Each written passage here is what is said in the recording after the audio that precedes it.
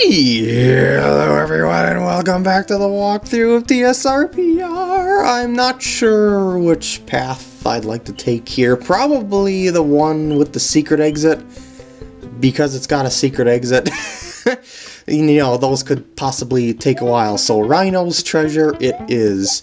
And I do believe that this was called something else in the original version of the game. I believe it was Dragon Treasure, or Dragon's Treasure, excuse me and uh, I just got two prizes there, and I just wasn't sure it was in the boxes, and I got, wow, a lot of power-ups early on the level. Although these tight jumps, it might not help all that much. But anyway, as for the original name, Dragon's Treasure, it probably is more fitting that it's called Rhino's Treasure now, because as you see, there's a lot of dino rhinos around this place, and yeah. oh no, my Yoshi! Uh, Actually, it's probably better off without Yoshi. because of these sorts of jumps coming here with the note blocks. And yeah, oh boy! I don't like this part of the level. Oh, oh, oh, oh, jeez. I could be bounced to my doom. Okay, I made it. Just a matter of jump control. Oh, that was close. I don't know how this water works here, because you go through the bottom of the tank that's containing the water and you can't go back out of it. Don't question the game logic. Do not question the game logic. I'm gonna have to get in here somehow. Oh, jeez! Whoa! Controls on the note blocks, kind of an issue if you hit them on the side. So, ooh! Yep, yep, I want to get him at a safe spot. Oh, okay, forget it. I'll just despawn it. uh, if I still had Yoshi, I could sneak myself in there, but I don't think it's worth trying to take a Yoshi through that, because if you hit your head on the ceiling, you're doomed. Well, okay, maybe not doomed, but uh, you're gonna have some issues getting through the gauntlets. And yeah, oh boy. Oh, oh no, you don't. Oh, no, you don't. Actually, I should probably do that too. Um, I'm frightened. Because side bounces are just as dangerous here as they were in the other area. Good. Arceus! Oh, no. okay. Okay. Pyramid blocks. Not your friend! I was hoping that would work out, and it did. Oh boy! That could have been very... No, no, no, no, no, yes! Okay. Made it. Somehow. Okay. You know, I'm gonna... No! No! I hate when the Dino stop moving like that because what happens is um, you kind of run into them way too easily. I got through the majority of the levels. So how about I show you a little cheat through the place? I'm pretty sure this was um, purposeful by FPI anyway to be able to do this. So I like to show it now. Back to Rhino's treasure with a cape. Well, two capes. See that that shaft right up here? See that? You can actually get up that with a cape. Well, if you fly well.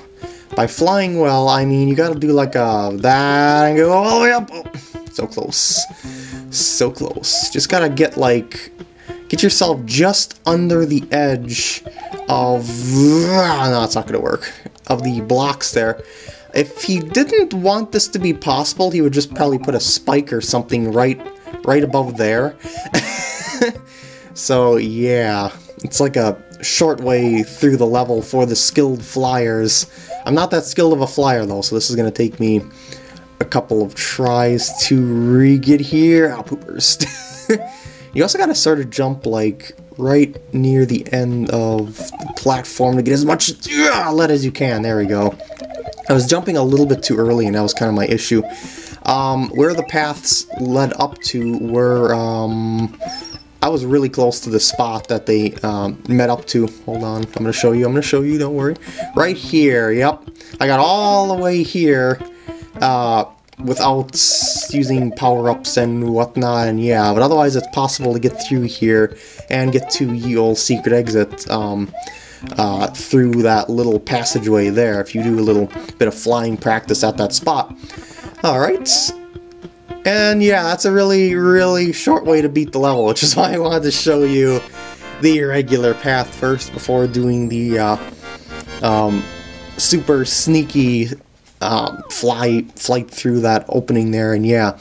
But you have to use a spin fly to get through that, otherwise you can't, because the regular fly just will not get you through that spot. Anyway, let's do the same thing here for ye old secret exits. Hopefully. That worked out nice. Alright, so I'm going to stun it, boot it off to the side, grab the key, go back down, and now I'm going to fly up the passageway that was right up here where the arrow indicated. Yeah, I guess that's the rhino's treasure. I suppose, maybe, could be, might be you know, because, you know, it's kind of, well, unless it's that flower at the end of the pipe, but it's like a petrified flower, and how is that much of a treasure? Oh, forget it, I don't know. Reznor's factory! Let's start. Ooh. Feel the energy in the air. Oh yeah, we're rocking. And, you know, how that, that box is nice if you don't have a power-up, but I have a power-up. Oh boy, I don't like that. There's a thing that if the, the platform falls... I mean, it gets to a point where the platform falls faster than you do, and then you fall off the platform, so... Be careful, yeah. Don't worry, there's relatively safe platforms to land on below, so... Ooh! So you just don't have to worry too much, as long as you just get ready to jump when you hit the other platform. Let these fall so and so far, so that you can get past emojis. okay. Midpoint already? Really? kind of find that hard to believe. Maybe because I have a cape.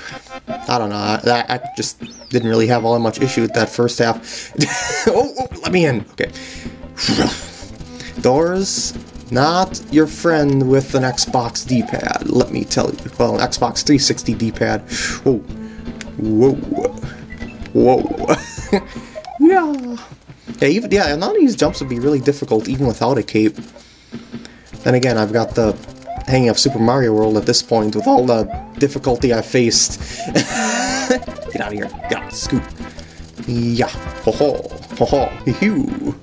Oh, this is this other spiky segment's much trickier. Oh wait, no, this isn't the one yet.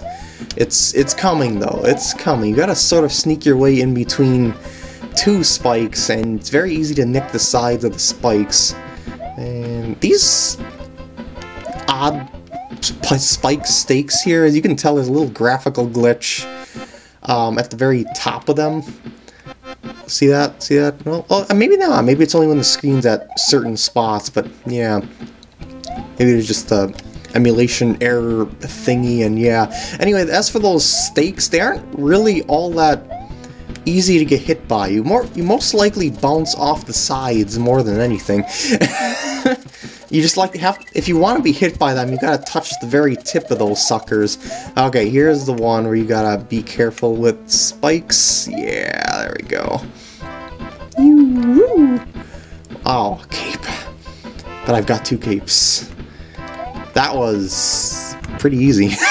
but I shouldn't say that. There's is the boss. You've got Kamek, well, Magic Koopa, plus the Reznors. Whoops. Whoa! Whoa! Whoopsie. that was my fault because I kind of stood in the corner too much. But uh, I'll do this other half without any power-ups now to show you that it's pretty easy to do without power-ups. so yeah, and then I'll probably just end up cutting forward to the boss each time I play this. Unless I, you know, end up having more issues than I think I'm going to have on this, but I don't really think so. Once you throw bones, drop off the edge. Mm, come on. There you go. See? Not that difficult. Just pick your opportunities wisely. And timing is of the essence. Yeah, even the um, bony beetles don't really cause all that much of an issue because you've got um, a small size to work in your favor here. oh, oh, mm. Well, that jump is sort of tricky. so maybe I shouldn't cut ahead to me getting back over to the boss.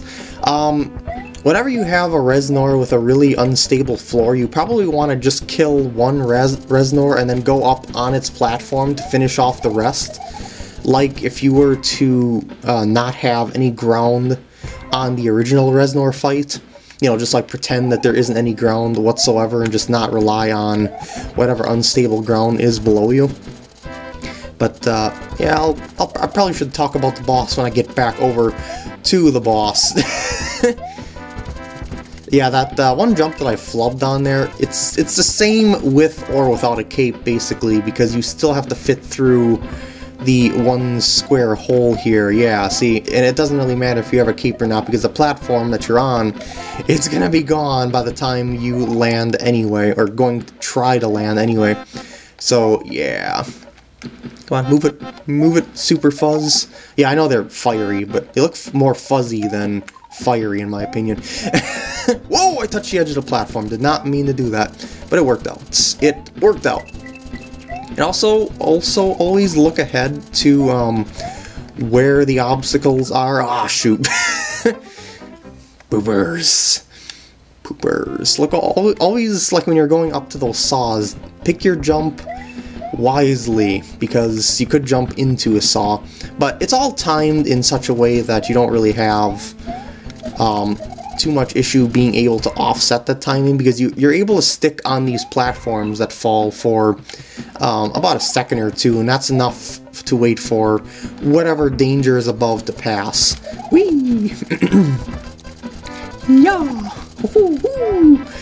And also be very touchy with your jump button when you're trying to jump under something. Obviously.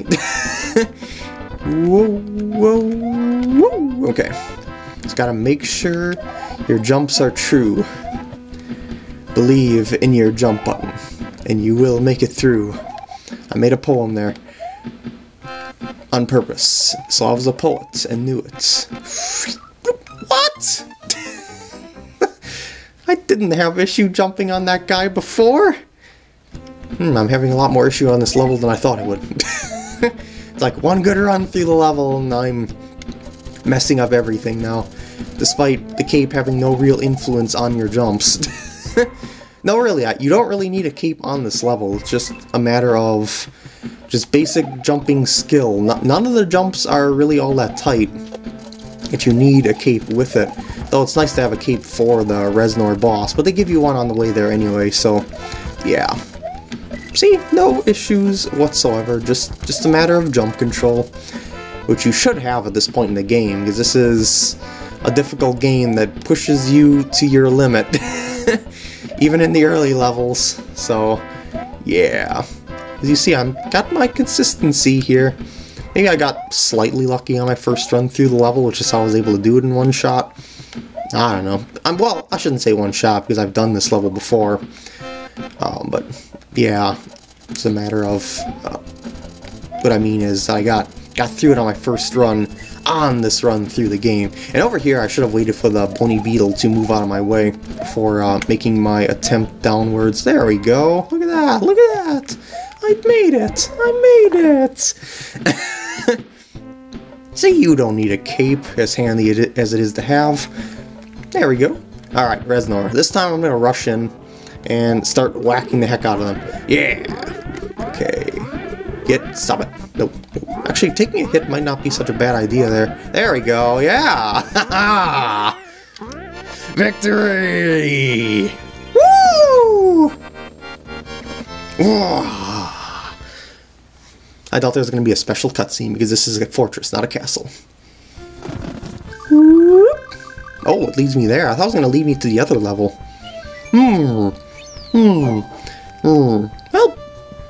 Should probably go to the other level in the next part. So I hope you enjoyed, and I'll see you then.